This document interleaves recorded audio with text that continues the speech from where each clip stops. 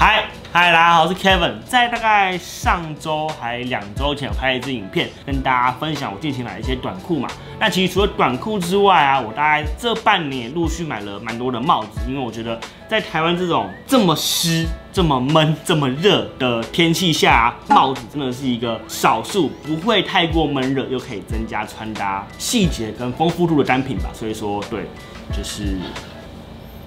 买了蛮多的。然后今天就刚好一次的跟大家介绍一下我近期买的全部帽子。那我们就废话不多说，让我们开始吧。首先呢，第一顶就是这个来自日本品牌 Racco 所推出的老帽。那这顶帽子呢，是我在高雄的 Under Garden 所购入的。然后它其实一开始放在架上啊，我并没有特别的去注意它，是店员那时候大力的推荐，说你真的可以试一下这款帽子，我才拿下来试戴。然后一摸完，一戴完，整个。吓到，因为一般的老帽啊，他们的帽型就会是比较单纯的，像这一顶，它就是一二三四五六六片的裁片，然后缝在一起，再加上一个老帽的帽檐去做的设计嘛。但这顶帽子呢，它乍看之下，你从正面看，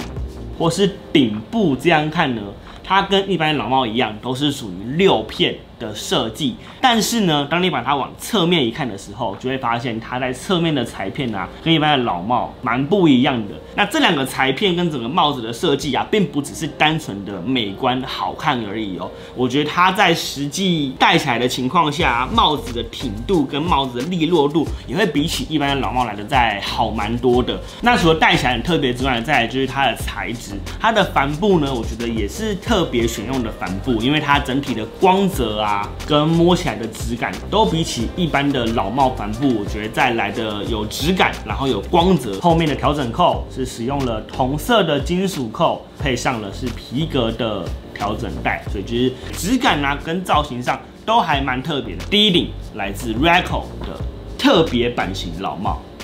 再来第二顶就是这个，可能有些人呃，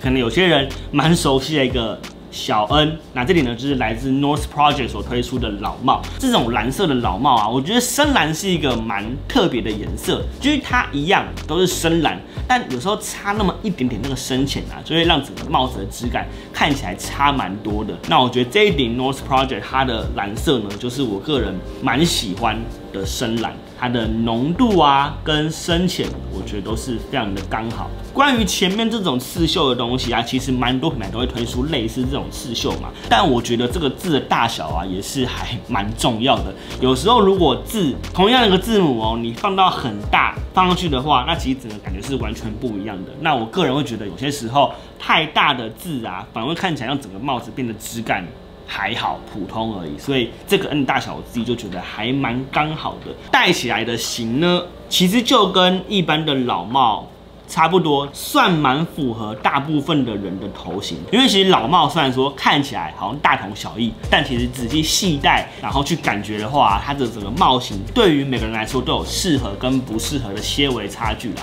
所以这一点我觉得就是还蛮不错。然后再来就是它所使用的帆布啊，虽然说没有到刚刚上一顶这顶来这么特别，但我觉得它这顶的帆布啊，在厚度跟亮泽度也是还蛮不错的，配上它的这个深蓝色的色。折啊，质感真的是还蛮不错的。然后背后的地方呢，就是用了帆布的调整带以及一个金属的扣环。整个帽子它的设计啊是非常的低调，但是又有质感。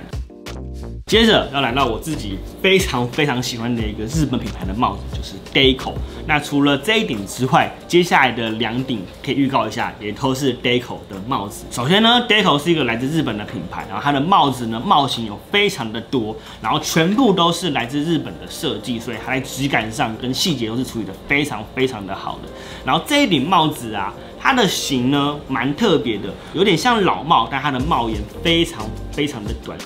整个布料上啊，是先用了一层深蓝色的布，然后里面呢，再用了一些镂空挖洞的设计，在里面再缝上了一个比较浅的深蓝色的布。除了有破坏补丁的设计之外呢，它上面还有刺上了非常多的蓝色绣线，有点类似撒虚口的工艺，来增加整顶帽子的一个细节。所以这顶帽子真的是。非常非常的好看。然后再就是这个这个小扣子呢，基本上就是 Deco 很多帽子都会附上的一个标志吧。然后就是放在侧边的地方，戴起来呢，大概就是这样这个样子。大家看一下。然后在帽檐的部分呢，它有两种戴法，一种就是你可以把帽檐这样放下来。